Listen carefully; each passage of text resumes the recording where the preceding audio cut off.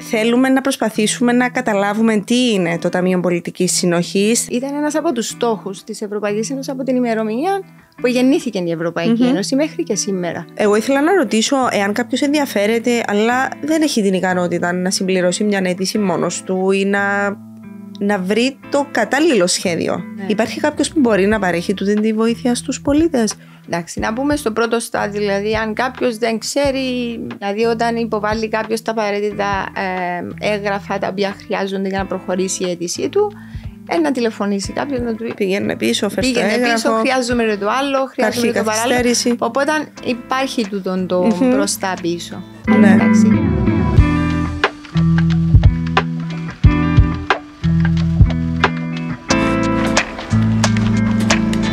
Podcast Talk σήμερα με την κυρία Ανθή Φιλιππίδου, Διευθύντρια της Πολιτικής Συνοχής και Πολιτούς Δημοσιονομικού Πλαισίου, για να συζητήσουμε για αυτό το μεγάλο θέμα, για το Ταμείο Πολιτικής Συνοχής, να προσπαθήσουμε να καταλάβουμε τι σημαίνει, τι είναι και πώς μπορούμε να το εκμεταλλευτούμε. Καλώς ορίσατε. Ευχαριστώ, Μονικά μου. Ευχαριστώ για την πρόσκληση. Θέλουμε να προσπαθήσουμε να καταλάβουμε τι είναι το Ταμείο Πολιτικής Συνοχής. Θέλω να ξεκινήσουμε ακριβώς με αυτό. Το τι είναι και πώς μπορεί κάποιος να επωφεληθεί από το Ταμείο. Ωραία. Καταρχάς, να, να διορθώσω σε εισαγωγικά ότι δεν μιλούμε για το Ταμείο Πολιτικής Συνοχής, μιλούμε για την πολιτικη συνοχής. Οπότε, αν, αν θέλεις, η λέξη συνοχή, ε, που στην ουσία σημαίνει σύγκληση, σύγκληση των οικονομιών και των, ε, των κρατών μελών, ε, ήταν ένας από τους στόχους της Ευρωπαϊκής Ένωσης από την ημερομηνία που γεννήθηκε η ευρωπαικη Ένωση μέχρι και σήμερα. Πάμε τόσο πίσω δηλαδή. Πάμε από τη συνθήκη της Ρώμης, με άλλον όνομα ίσως, με περιφερειακή πολιτική, μεταξελίχθηκε μετά στην πορεία ως την, τέλος πάντων την πρόσφατη συνθήκη που έχει αντιλειτουργία της Ευρωπαϊκής Ένωσης. Οπότε μιλούμε για μια ε, πολιτική. Ε, ναι, όπως όλες οι πολιτικές πρέπει να έχει και τα ανάλογα θέλεις ταμεία μέσω, το, μέσω των οποίων θα χρηματοδοτηθεί αυτή η πολιτική συνοχής. Αλλά στην ουσία η πολιτική συνοχής, ε, η οποία όπως έχουμε πει, οι ρίζες της είναι στι συνθήκες ε, της Ευρωπαϊκής ε, Ένωσης, ε, είναι μια πολιτική και ένας τρόπος, αν θέλεις, να το πούμε και πιο απλά, ένας τρόπος με τον οποίο η Ευρωπαϊκή Ένωση προσπαθεί να βοηθήσει ε, όλες τις, κρα- ε, όλα τα κράτη-μέλη και όλες τις περιοχές της Ευρωπαϊκής Ένωσης να αναπτυχθούν ε, ανεξάρτητα κιόλας από τις οικονομικές τους δραστηριότητες. Έτσι ώστε Ή να τα μπορέσουν- μεγέθη. Ή τα μεγέθη τους. Ή τα μεγέθη τους, τις οικονομικές τους ε, δυνατότητες, έτσι ώστε να μπορέσουν να υλοποιήσουν έργα που στο τέλος της ημέρας, υλοποιώντας τα έργα, το αποτέλεσμα ποιος θα είναι, θα είναι ότι θα προσφέρουμε στους πολίτες μια καλύτερη ε, ποιότητα ε, ζωής. Ε, να πούμε ότι επίσης η πολιτική συνοχή, αν θέλεις, έχει τρεις διαστάσεις. Έχει, όπως είπαμε, την οικονομική διάσταση. Ε, έχει όμως και την κοινωνική διάσταση και μια πρόσφατη διάσταση που έχει επίσης ενσωματωθεί με το πέρασμα του χρόνου και στα πλαίσια θέλεις του εξυγχρονισμού αυτής της πολιτικής συνοχής είναι και η εδαφική της διάσταση. Δηλαδή ε, οι τοπικές ανάγκες, οι ανάγκες της κοινωνίας. Ε, εκεί δηλαδή όπου ε, ο πολίτης είναι πιο κοντά στο πρόβλημα. Αυτό Ναι. σημαίνει εδαφική ε, συνοχή. Επίσης να πούμε ότι δεν είναι μια πολιτική η οποία πίσω της δεν έχει έναν τεράστιο προπολογισμό. Είναι μια πολιτική η οποία καταλαμβάνει ε, και απορροφά το μεγαλύτερο μέρος του ευρωπαϊκού προπολογισμού. Λογικό. Ε, πέραν του ενός τρίτου του ευρωπαϊκού προϋπολογισμού ε, κατευθύνεται ε, στην πολιτική ε, συνοχής. Επίσης θέλω να τονίσω κάτι για την πολιτική συνοχής γιατί ε, νιώθω ότι τουλάχιστον εγώ ότι έχει και μια ηθική διάσταση. Ηθική διάσταση με ποια έννοια; Ηθική διάσταση με την έννοια ότι στηρίζεται ε, στην αλληλεγγύη μεταξύ των κρατών μελών. Γιατί στην ουσία την πολιτική συνοχή τη λαμβάνουν σε μεγαλύτερο βαθμό οι χώρες οι οποίες την έχουν και ανάγκη περισσότερο. Περισσότερο. Η, η διανομή όμως των πόρων δεν γίνεται ισότιμα σε όλα τα κράτη-μέλη; Να πούμε και πολύ έτσι εύστοχη η ερώτησή σου γιατί ακριβώς θε- θα ήθελα σε αυτό το σημείο να, να δούμε και πώς καταλήγει αν θέλεις ο χρηματοδοτικός φάκελος για την κάθε χώρα. Ναι. Οπότε, επειδή είπαμε ότι είναι μια πολύ σημαντική, αν θέλεις, ε, πολιτική επενδύσεων, αυτή η πολύ σημαντική επενδυτική πολιτική, ε, πρέπει να γίνει μια πολιτική διαπραγμάτευση ως προς το mm μέγεθος της στα πλαίσια του ευρωπαϊκού ε, προπολογισμού. Και επίσης η συμφωνία η οποία λαμβάνεται τόσο για την πολιτική συνοχή αλλά και για άλλες ε, πολιτικές της Ευρωπαϊκής Ένωσης όπως είναι η ε, γεωργική πολιτική, η αλευτική πολιτική, το μεταναστευτικό κλπ. Όλες αυτές οι αποφάσεις λαμβάνονται σε επίπεδο Συμβουλίου Αρχηγών Ε, για την Κύπρο ε, η συμφωνία, η τελευταία τέλος πάντων που έχει ληφθεί ήταν τον Ιούλιο του 2020 όπου εκεί ε, είχε κατανεμηθεί στην Κύπρο, ο χρηματοδοτικός φάκελος δηλαδή για την Κύπρο, περίπου το 1, 1 δισεκατομμύριο ευρώ. Και είναι μια ε, πάρα πολύ, αν θέλετε, γενναιόδορη κατανομή για την Κύπρο, η οποία εστιάζεται ρόλας και βασίζεται στο γεγονός ότι επειδή η πολιτική συνοχή έχει αυτήν τη φιλοσοφία που μόλις ε, εξηγήσαμε, ε, καταφέραμε μέσα σε μια έτσι αν ε, πολύ στοχευμένη διαπραγμάτευση και ετοιμασία μας σε τη διαπραγμάτευση η οποία έγινε να αναδείξουμε ακριβώς ότι η Κύπρος λόγω του μικρού της μεγεθους λόγω του ότι έχει τον νησιωτικό χαρακτήρα που σημαίνει αυτό ότι ε, απομονώνει την και ενεργειακά. Υπάρχει μια τεράστια απόσταση από το οικονομικό κέντρο της Ευρωπαϊκής mm-hmm. Ένωσης. Η Κύπρος δεν λαμβάνει τα ίδια ωφελήματα που λαμβάνουν οι άλλες χώρες όσον αφορά την ενιαία αγορά. Γιατί βρίσκεται εκεί που βρίσκεται. Ναι. Ε, όλοι αυτοί οι παράγοντες ε, έχουν αρνητική ε, επίπτωση στην ανταγωνιστικότητά μας. Οπότε, στη βάση αυτών των χαρακτηριστικών και στη βάση μιας πάρα πολύ στοχευμένης διαπραγμάτευσης που έγινε, όπως σου είχα πει, σε επίπεδο εθνικών κυβερνήσεων, δηλαδή το mission μας ήταν με τον ίδιο τον πρόεδρο της Δημοκρατίας στο Συμβούλιο που διήρκησε περίπου ε, τέσσερις μέρες. Νομίζω ήταν το μεγαλύτερο συμβούλιο που διήρχεται. Η Κύπρος κατέφερε και πήρε ένα πάρα πολύ σημαντικό χρηματοδοτικό mm-hmm. φάκελο ε, ύψους ενός δισεκατομμυρίου ευρώ. Ε, να πούμε όμως ότι μας δίνουν αυτόν το ένα δισεκατομμύριο ευρώ. Ε, πιάνει το Κύπρος το ένα δισεκατομμύριο ευρώ και λέει «Α, ωραία, αύριο να χρηματοδοτήσω, ξέρω εγώ, το δρόμο τάδε, το κτίριο τάδε, την υποδομή τάδε, το υδατικό έργο τάδε, το αποχετευτικό τάδε». Όχι. Η πολιτική συνοχή και ο χρηματοδοτής φάκελος δεν δίνεται για να χρηματοδοτήσει αυτοτελή Πρέπει η χρηματοδότηση αυτή να περάσει μέσα από ένα ε, πολιετές πρόγραμμα. Δηλαδή; Δηλαδή, ε, για να μπορέσουμε να αξιοποιήσουμε αυτόν το 1 δισεκατομμυριο ευρώ με βάση το κανονιστικό πλαίσιο που διέπει τα ταμεία της πολιτικής συνοχής. Έχει αρκετά ταμεία, αν θέλετε να τα αναφέρουμε, αλλά νομίζω ε, το κάθε έναν απλά έχει τη δική του, αν θέλεις, αποστολή, αλλά όλα αποσκοπούν ε, στο αποτέλεσμα που πρέπει να έχει η πολιτική ε, συνοχής. Πρέπει να ετοιμάσει κάθε χώρα έναν ε, πολιετές πρόγραμμα. Έναν 7 ετές, αν θέλετε, πολιετές πρόγραμμα, γιατί είναι και 7 ετές ε, ο προπολογισμό της Ευρωπαϊκής Ένωσης. Και με βάση το πολύ αυστηρό κανονιστικό πλαίσιο, σου λέω τι, ότι στο πρόγραμμα αυτό πρέπει να έχεις συγκεκριμένες προτεραιότητες. Δηλαδή, η Κύπρος και να θέλει να επενδύσει, παραδείγματος χάρη, σε οδικά έργα, θα σου πει ότι με έναν προτεραιότητα της Ευρωπαϊκής Ένωσης δεν είναι να κάτσεις να επενδύσεις σε υποδομές που αφορούν οδικά έργα. Εγώ έχω άλλες προτεραιότητες. Για αυτές πρέπει να ακολουθήσεις. Σου βάλω δηλαδή συγκέντρωση και επικέντρωση σε συγκεκριμένες θεματικές και προτεραιότητες. Παραδείγματος χάρη, το 30% των πόρων πρέπει να, δια, ε, να διοχετευτούν στην, ε, στην έξυπνη Ευρώπη. Τι είναι η έξυπνη Ευρώπη; Έξυπνη Ευρώπη είναι η έρευνα, η καινοτομία και η ψηφιοποίηση. Mm-hmm. Εγώ δηλαδή από όλους αυτούς τους πόρους που έχουμε πάρει, το ένα δις, ένα συγκεκριμένο ποσοστό πρέπει να διοχετευτεί εκεί. Επίσης, το οποίο το... καθορίζεται από την Ευρωπαϊκή Ένωση. Το οποίο καθορίζεται ακριβώς από έναν κανονιστικό πλαίσιο. Το λεγόμενο είναι ο κανονισμός ε, κοινών διατάξεων των ταμείων της πολιτικής. Αντιλαμβανόμαστε ότι για να υπάρχει μια ομοιομορφία σε ευρωπαϊκό επίπεδο στο που διοχετεύω η, η κάθε χώρα τα χρήματα που παίρνει. Δεν είναι τόσο θέμα ε, ομοιομορφίας, ε, Μόνικα μου. Είναι θέμα ότι ε, με αυτήν τη στόχευση επιτυχάνονται οι στόχοι, της Ευρωπαϊκής Ένωσης. Ναι. Οπότε ε, σου λέει ότι εσύ ενδεχομένως να έχεις ανάγκες σε διάφορους τομείς της οικονομίας. Εμείς ως Ευρωπαϊκή Ένωση, mm. το όραμα της Ευρωπαϊκής Ένωσης είναι να στοχεύσουμε σε έναν τεράστιο ποσοστό να χρηματοδοτήσουμε ανανεώσιμε πηγές ενέργειας ή το περιβάλλον ή την ψηφιοποίηση και ούτω καθεξής, ή θέματα κλιματικής αλλαγής. Και σου βάλουν και συγκεκριμένους κόφτες. Δηλαδή το πρόγραμμα μας αν δεν έπιανε, ας πούμε, το ποσοστό ότι οι επενδύσεις που έχουμε μέσα στο πρόγραμμα πιάνουν το 40% της κλιματικής αλλαγής, δεν θα εγκρινόταν.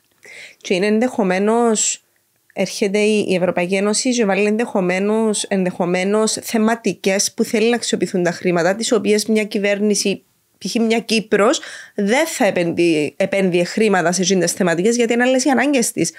Που εγκατανοητών τούτων, άρα προσπαθεί να κρατήσει έτσι μια ισορροπία η Ευρωπαϊκή Ένωση, αφού θα διατεθούν που θα διατεθούν τούτα όλα τα χρήματα, να γίνουν έργα τα οποία επί κανονικέ συνθήκε δεν θα ήταν προτεραιότητα να γίνουν. Ακριβώς. Έτσι, εγώ έτσι το αντιλαμβάνομαι. Πολύ σωστά το αντιλαμβάνεσαι, αλλά με αυτόν τον τρόπο στις χώρες όπου αυτές οι χρηματοδοτήσεις που έρχονται από ευρωπαϊκά κονδύλια συνιστούν έναν τεράστιο μέρος του εθνικού μας προπολογισμού, στην ουσία αντί εξυγχρονίζεται, γιατί εγώ το θεωρώ ως εξυγχρονισμό της ίδιας της αναπτυξιακής πολιτικής του κράτους. Ναι, ναι, ναι. Δηλαδή να έρθει σε κάποια φάση να ταυτιστεί η ετοιμασία του εθνικού προπολογισμού της κάθε χώρας με τις ανάγκες της Ευρωπαϊκή. με, με τους στόχους και τις επιδιώξεις ναι. της Ευρωπαϊκής Ένωσης. Κάτι το οποίο θεωρώ εγώ ότι είναι ένα από τα μεγαλύτερα ωφελήματα που μπορούμε να έχουμε από αυτές τις χρηματοδοτήσεις. Ναι, γιατί παίρνει γιατί... μας ένα βήμα μπροστά πριν είμαστε έτοιμοι να φτάσουμε Ακριβώς. σε γίνον το βήμα Ακριβώς. μπροστά. Άρα σπρώχνει μας. Σπρώχνει μας. Ακριβώς. Και σου λέει ότι αν θέλεις χρηματοδότηση, πρέπει να επενδύσεις σε αυτούς τους τομείς. Ναι. Αν τούτη χρηματοδότηση σίγουρα για την Κύπρο, σου λέω, είναι ένα τεράστιο ποσοστό του εθνικού μας προπολογισμού, σε άλλες χώρες μπορεί να είναι πιο μικρό.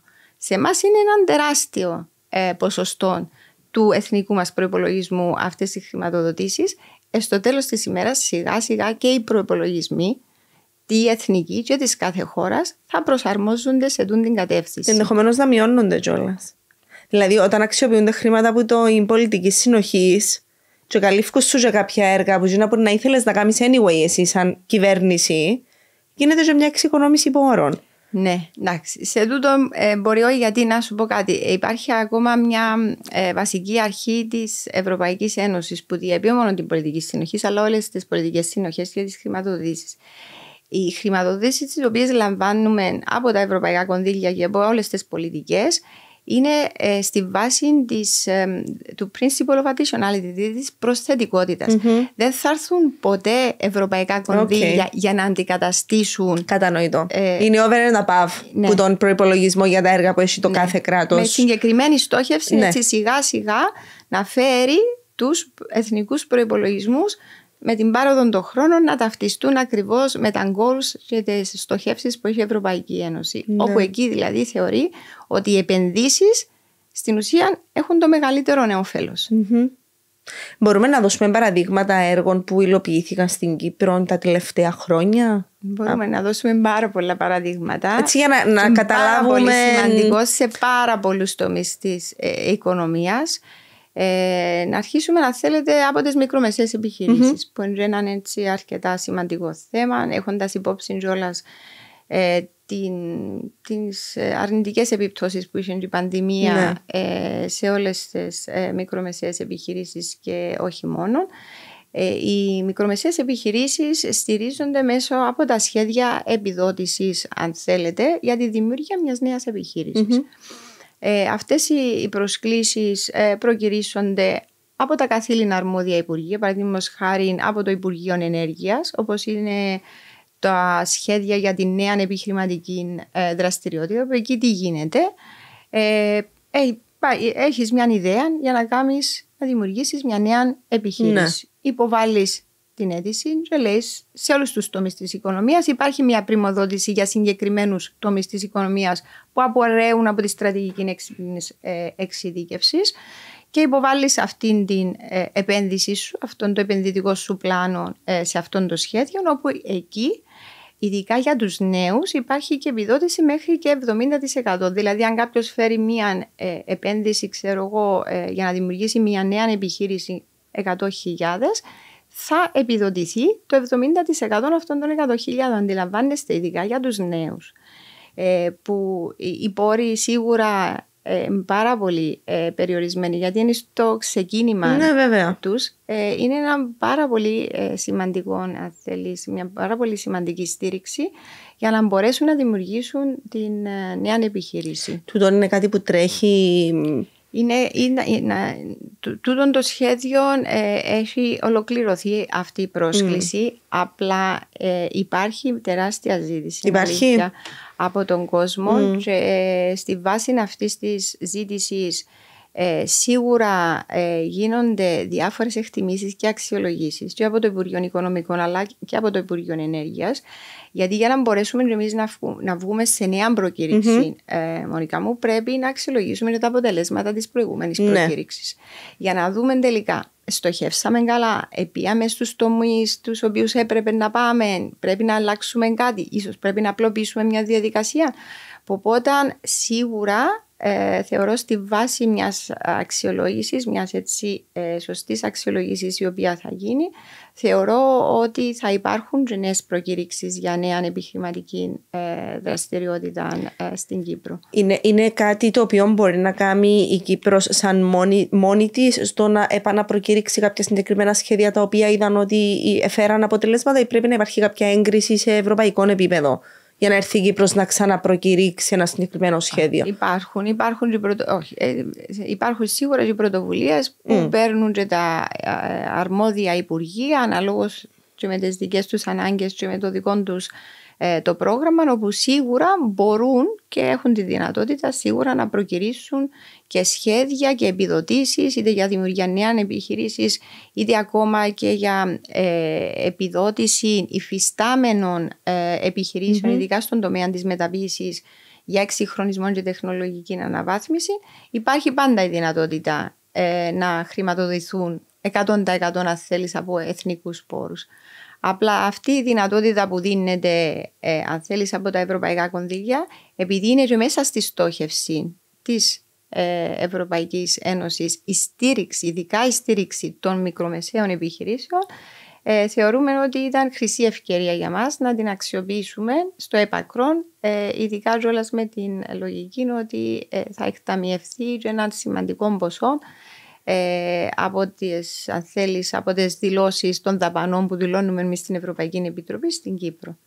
Γιατί επενδύουμε τόσο πολύ στις μικρομεσαίες επιχειρήσεις, ενώ επαναλαμβάνουμε το συνέχεια. Λέμε συνέχεια για τις μικρομεσαίες επιχειρήσεις. Ακούμε πάρα πολλά σχέδια ναι. που εξαγγέλλονται που αφορούν τις μικρομεσαίες επιχειρήσεις. Υπάρχει κάποια λογική πίσω από τούτο; Ε, νομίζω πως ναι, ε, σε όλες τις οικονομικές αναλύσεις, οι μικρομεσαίες επιχειρήσεις αποτελούν τη ραχοκοκαλιά της οικονομίας. Ναι. Οπότε, αν σκεφτούμε ότι στην Κύπρο οι μικρομεσαίες επιχειρήσεις αποτελούν το 99,9%. mm Ε, σίγουρα Μεγάλο ποσοστό. είναι τεράστιο ποσοστό οπότε και εμείς ε, ε, έχουμε την υποχρέωση να στοχεύσουμε σε αυτές τις μικρομεσαίες επιχειρήσεις. Θέλω να σταθούμε λίγο στους δικαιούχους τούτων των σχεδίων και πώς μπορεί κάποιος να επωφεληθεί, να πούμε συγκεκριμένα. Δηλαδή, καταρχάς σε πρώτη φάση πώς ενημερώνεται κάποιος. Ωραία, ναι. Τώρα, okay, να πούμε ότι, ε, όπως σου είχα πει πριν λίγο, όλες αυτές οι προκηρύξεις δεν προκυρήσονται, αν θέλεις, από την ε, Γενική Διεύθυνση Ανάπτυξης του Υπουργείου Οικονομικών, αλλά ε, προκυρήσονται όλα αυτά τα σχέδια από τα αρμόδια Δηλαδή, ε, αν αφορούν τα σχέδια ε, ε, χορηγιών της μικρομεσαίας επιχειρήσης, η προκήρυξη θα γίνει από το Υπουργείο, από το αρμόδιο Υπουργείο, mm-hmm. από το Υπουργείο Ενέργειας, Εμπορίου και Βιομηχανίας. Αν αφορούν τα σχέδια χορηγιών έρευνα και καινοτομία, οι προκηρύξεις θα γίνουν από το Ίδρυμα Έρευνας και Καινοτομίας για, για τα θέματα της ψηφιοποίησης, οι προκηρύξεις γίνονται σε συνεργασία με το Υφυπουργείο Έρευνας και Καινοτομίας από τη Γενική Διευθύνση Ανάπτυξη, γιατί είχαμε κρατήσει εμείς αυτόν το ρόλο όσον αφορά τις ε, προκηρυξει Αλλά όλες αυτές οι προκηρύξεις γίνονται ε, από, τα αρμόδια, από τα καθήλυνα αρμόδια υπουργεία ε, πάντα σε συνεννόηση και έγκριση ε, η οποία πρέπει να έρθει από τη Γενική Διευθύνση Ανάπτυξης όπου λειτουργούμε ως διαχειριστική αρχή αυτού του, του προγράμματος ε, εν πάση περιπτώσει.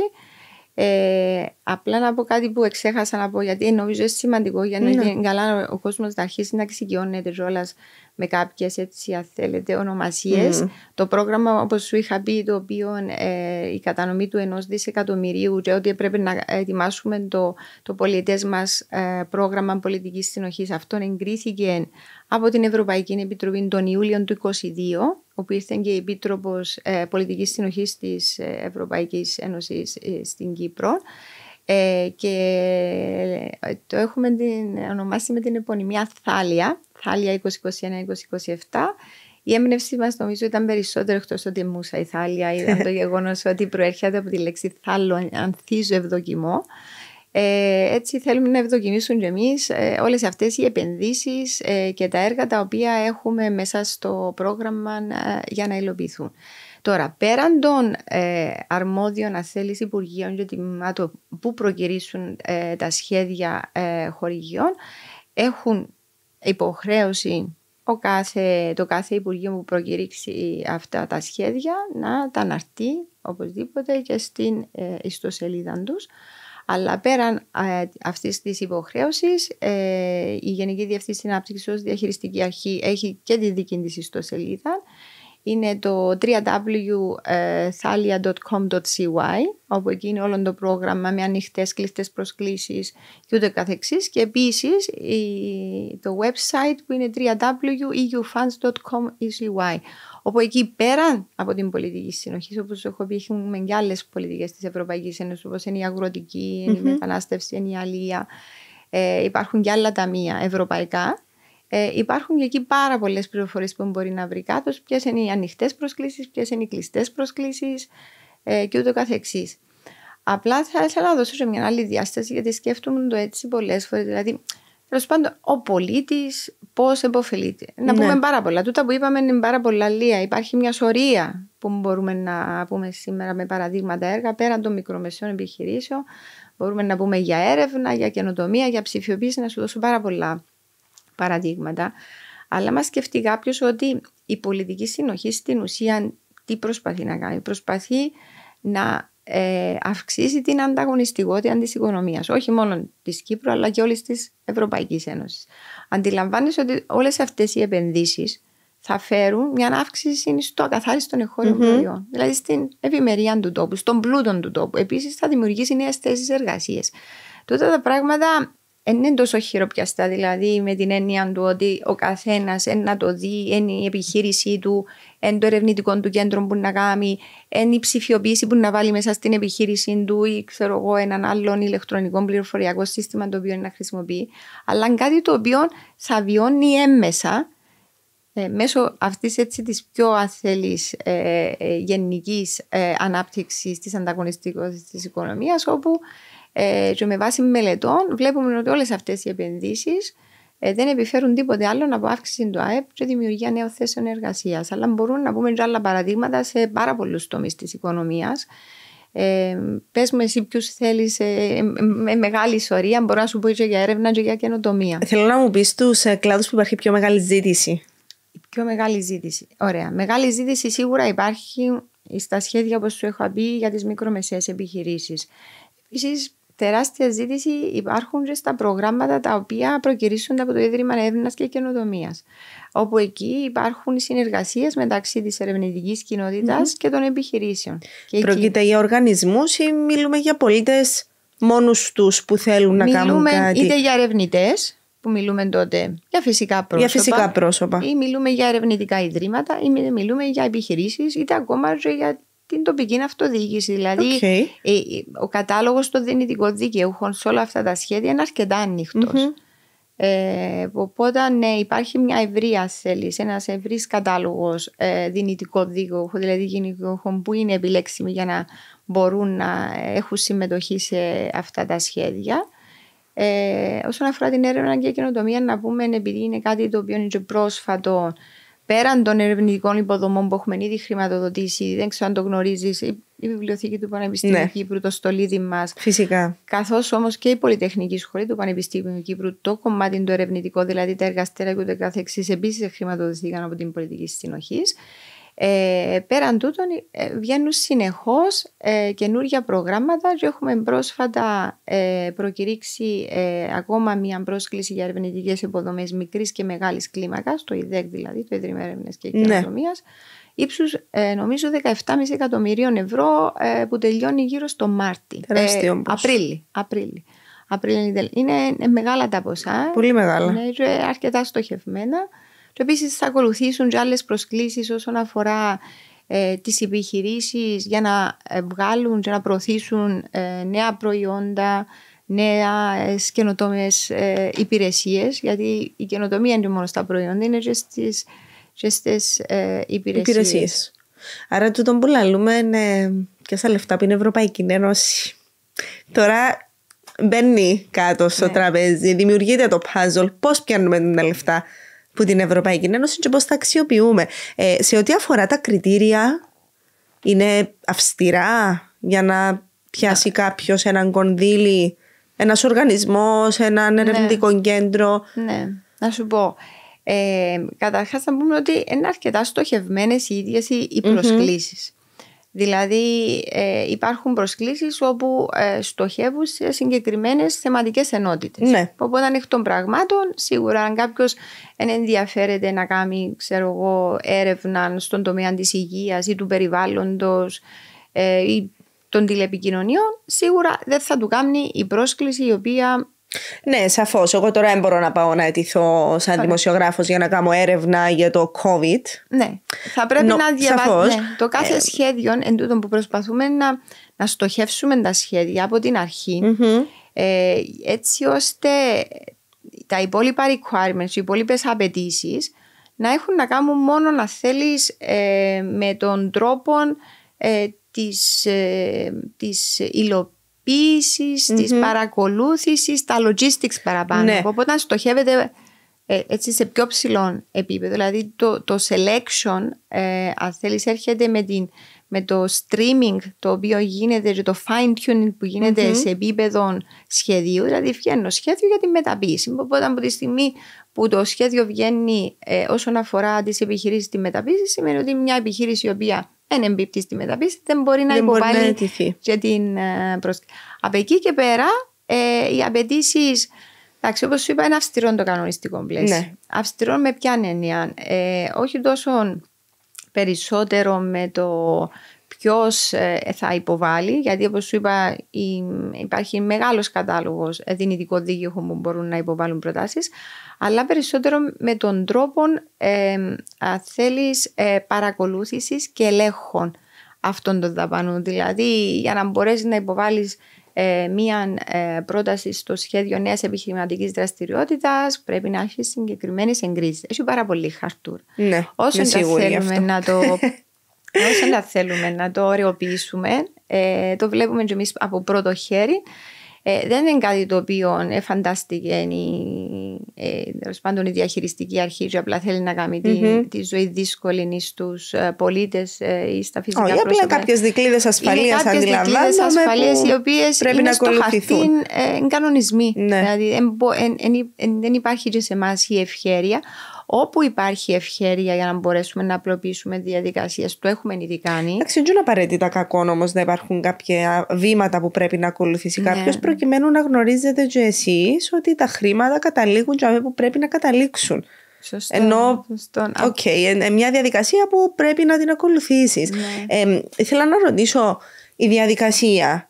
Εγώ σαν Μόνικα θέλω να υποβάλω αίτηση για μικρομεσαία επιχείρηση. Κάμνω την αίτηση τι πρέπει να περιμένω, πώς, πώς εξελίσσεται η διαδικασία μέχρι να λάβω ναι, την, την, ε, έγκριση. την έγκριση και μετά να λάβω τα χρήματα; Ναι. Καταρχάς να πούμε ότι πριν να προκηρυχθεί το, το σχέδιο από το αρμόδιο τμήμα ε, θα πρέπει να καταγραφούν κάτω οι πρόνοιες ε, του σχεδίου και θα πρέπει να έχει καταρτιστεί και ένας οδηγός διαχείρισης και εφαρμογής του σχεδίου.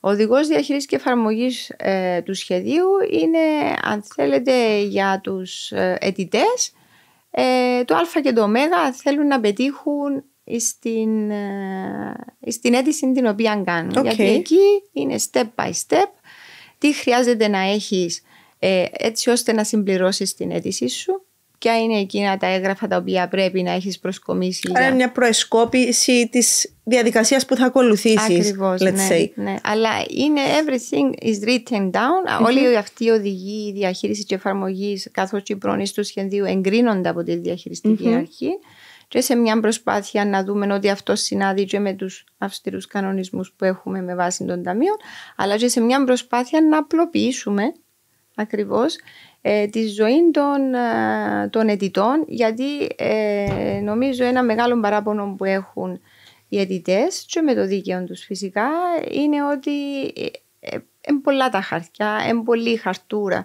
Ε, ένας τρόπος που το επετύχαμε σε ένα αρκετά καλό βαθμό, υπάρχει ακόμα δρόμος, είναι πλέον η υποβολή ε, των αιτήσεων να γίνεται ηλεκτρονικά. Οκ. Okay. Ξεκίνησε τούτο Εξεκίνησε, να, εξεκίνησε να και από το Υπουργείο Ενέργειας και από το Ίδρυμα Έρευνας και Καινοτομίας. Ακολουθούν. Άξι, τεράστιο πλεονέκτημα. Τεράστιο, ε, είναι τεράστιο επίτευγμα που έπρεπε να γίνει εδώ και καιρό. Ναι. Ε, το οποίο ε, βοήθησε πάρα πολύ όσον αφορά την επίσπευση ε, του ναι. χρόνου αξιολόγησης. Βέβαια, φυσικά. Γιατί αν σκεφτείς ότι αν μιλούμε για το σχέδιο ξέρω, για την πρόθεση καινοτόμων προϊόντων ή καινοτόμων υπηρεσιών, αν ο αιτητής σου υποβάλει αίτηση ξέρω εγώ, το Γενάρη και εγκριθεί ως τον, τον Ιούνιο, σημαίνει ότι η καινοτομία μπορεί να έχει, ξέρεις. Ε, ναι. ε, ε, θα, θα, θα, πλέον καινοτομία. Δεν θα είναι πλέον καινοτομία. Δεν θα είναι πλέον καινοτομία. Οπότε ε, ο χρόνος είναι πάρα πολύ ε, σημαντικός. Ε, ε, επίσης εξίσου σημαντικός είναι και ο χρόνος με τον οποίο προσπαθούμε τώρα να μειώσουμε όσον αφορά τα αιτήματα της καταβολής της χορηγίας. Δηλαδή, άπαξ του εγκριθεί το έργο, και δώσουμε τις εγκρίσεις, και αρχίσει ο κόσμος και τρέχει και υλοποιεί τα έργα. Όταν υποβάλλονται τα αιτήματα επίσης καταβολής χορηγίας και αυτά έχουν γίνει ηλεκτρονικά με ένα συγκεκριμένο ε, checklist το οποίο λέει αυτόν έχεις το ναι, αυτό δεν το έχεις ναι, πάει προχωράς. Οπότε ε, προσπαθούμε να τυποποιήσουμε mm-hmm. τη διαδικασία ακριβώς για να μικράνουμε τους ε, τους, τους χρόνους, να ναι. μικρύνουμε ε, τους χρόνους αξιολόγησης, έγκρισης και φυσικά της υλοποίησης των, ε, των έργων. Πόσος χρόνος παίρνει τώρα για να γίνει η αξιολόγηση μιας αιτήση. Περίπου, ε, εντάξει, ιδανικά θα θέλαμε τους τρεις μήνες. Mm-hmm. Μπορεί να πάρει περισσότερο Μπορεί όμως, να πάρει αν είναι κάποιος σχέδιο που έχει μεγάλη ζήτηση. Να σου πω ότι γίνεται μόνο Είναι ότι πολλές φορές, γιατί όλα είναι, δεν είναι άσπρο μαύρο. Δηλαδή φυσικά μπορείς, και όχι. Μπορείς να κάνεις τον τέλειο οδηγό διαχείρισης, mm-hmm. τον τέλειο οδηγό εφαρμογής, αλλά μπορεί να σου στείλει έναν έγγραφο ε, να το εξετάσει η αρμόδια ε, υπηρεσία που ε, βγάζει την προκήρυξη και να ζητήσει κάποιες διευκρινήσεις. Mm-hmm. Δηλαδή να μην είναι αρκετό. Οπότε αν τζαμί λίγο ο χρόνος παγώνει. Μάλιστα. Δηλαδή όταν υποβάλλει κάποιος τα απαραίτητα ε, έγγραφα τα οποία χρειάζονται για να προχωρήσει η αίτησή του, ε, να τηλεφωνήσει κάποιος να του Πήγαινε πίσω, φέρει Πήγαινε έγγραφο, πίσω, χρειάζομαι το άλλο, χρειάζομαι το παράλληλο. Οπότε υπάρχει τούτο το mm-hmm. μπροστά πίσω. Αλλά ναι. εντάξει, γίνονται τεράστιες προσπάθειες επίσης και στο να ενισχύσουμε και τη διοικητική ικανότητα όλων των φορέων ναι. που ασχολούνται με, Σημαντικό. με αυτά τα σχέδια. Ναι. Εγώ ήθελα να ρωτήσω εάν κάποιος ενδιαφέρεται, αλλά δεν έχει την ικανότητα να συμπληρώσει μια αίτηση μόνος του ή να, να βρει το κατάλληλο σχέδιο για τις ναι. δικές του ανάγκες. Ναι. Υπάρχει κάποιος που μπορεί να παρέχει του τη βοήθεια στους πολίτες ή ναι. σε οργανισμούς; Ναι. Εντάξει, να πούμε στο πρώτο στάδιο, δηλαδή αν κάποιος δεν ξέρει πού να γυρέψει ε, ναι. ή πού να βρει κάποιες πληροφορίες. Όχι, πες ότι βρήκα. Ενώ βρήκες τις πληροφορίες. Βρήκα τις πληροφορίες, βρήκα το σχέδιο, αλλά το σχέδιο. δεν ξέρω να αιτηθώ. Πώς το, πώς, πώς τι να πρέπει κάνεις, να κάνω. Ναι. Υπάρχει κάποιον κόλπο για ναι. να αξιολογηθεί πιο γρήγορα. Πιο... Ενώ σε θέμα συμπλήρωσης της αίτησης. Να σου πω κάτι το οποίο αντιμετωπίσαμε με έναν άλλο ε, σχέδιο επίσης πάρα πολύ σημαντικό που αφορά το σχέδιο της ενεργειακής αναβάθμισης mm. και της εξοικονομήσης ενέργειας των κατοικιών. Που νομίζω είναι ένα σχέδιο που το ξέρουν όλοι πλέον. Το ξέρουν όλοι πλέον. Όλοι. Αλλά πίστεψε με, επειδή είναι αρκετά τεχνικό το, το συγκεκριμένο έργο, πολλοί δυσκολεύονται να συμπληρώσουν κάποιες ναι. αιτήσεις, εκτός το ότι χρειάζονται και εξειδικευμένο προσωπικό, ο οποίος να πιστοποιήσει την ενεργεία και να αποδώσει πριν και μετά ε, την επένδυση. Εκεί άρχισε ε, και έτσι αν θέλεις δημιουργείται ε, νομίζω έτσι έναν καλό ε, pool εμπειρογνωμόνων όπου όχι μόνο μπορούν να σου δώσουν κατεύθυνση στα τεχνικά θέματα ενώ στο, στη μέτρηση της, απο, της ενεργειακής αποδοτικότητας σου στο πριν και το μετά αλλά και γενικά όλων των ενεργειών στα πλαίσια ολόκληρης της δηλαδή από την αρχή ως το τέλος. Ακριβώς τούτον εννοούσα. Ναι, ναι. Γιατί ναι, υπάρχει ναι. κόσμος που δεν μπορεί να κάνει τούτον το πράγμα. Ναι. Ενώ... Υπάρχει, υπάρχει, υπάρχει ευχαίρεια και μάλιστα αυτή η ευχαίρεια, δηλαδή η εμπειρογνωμοσύνη που μπορείς να λάβεις από ένα σύμβουλο ή από έναν ενεργειακό ελεκτή κλπ. Είναι επίσης μια δαπάνη την, την οποία μπορείς να χρεώσεις μέσα, μέσα στην πρότασή σου και να την επιδοτηθείς ναι. κιόλας. Δηλαδή, δεν είναι κάτι το οποίο εγώ Αξινομένου ότι εγκριθεί φυσικά η πρόταση mm-hmm. και περάσει έτσι, γιατί παίρνεις και ένα ρίσκο ο άλλος. Όταν είναι να πιάσεις ένα σύμβουλο ή έναν ειδικό ή ένα ενεργειακό ελεκτή, ο οποίος είναι να σου κάνει την αίτηση, ε, σίγουρα παίρνεις και εσύ το ρίσκο σου ότι εγώ αν να δώσω κάποια λεφτά, δεν μιλούμε τώρα για τεράστια ναι, ποσά. για μεγάλα ποσά. μικρά ποσά ε, ναι. που παίρνουν γενικά οι σύμβουλοι. Αλλά σίγουρα ε, επειδή είναι αρκετές οι πρόνοιες και είναι αρκετά περίπλοκα τα έργα, ε, έχουν βοηθηθεί πάρα μα πάρα πολλοί έτσι αιτητές, ειδικά για τα σχέδια της ενεργειακής ναι. αναβάθμισης. Ναι, γιατί ειδικά το συγκεκριμένο αφορούσε και όλες τις ηλικίες των αιτητών. Δηλαδή... Και τα πάντα και να σου πω κάτι, δεν έχουμε και το χρόνο πολλές φορές. Ναι. Δηλαδή, μπορεί κάποιος ε, να μιλούμε για μορφωμένο κόσμο. Ναι, φυσικά, μπορεί φυσικά. να σκεφάσει, μπορεί να καταλάβει τις πρόνοιες, αλλά δεν έχει το χρόνο. Συμφωνώ. Όταν σου λέει παρά να μου φύγει κάτι, και τελικά η έγκρισή μου να μην εγκριθεί. Να μην εγκριθεί. Καλύτερα να βασιστώ ναι. πάνω σε έναν που είναι, είναι η δουλειά του. Και το ναι, έχει γιατί πολλές φορές νιώθουμε την ανασφάλεια, μήπως κάνουμε Ναι. κάτι λάθος. Ναι. Γιατί εσύ κάνει τα έξοδα, κάνει Ναι. την ενεργειακή αναβάθμιση. Ναι, ακριβώς.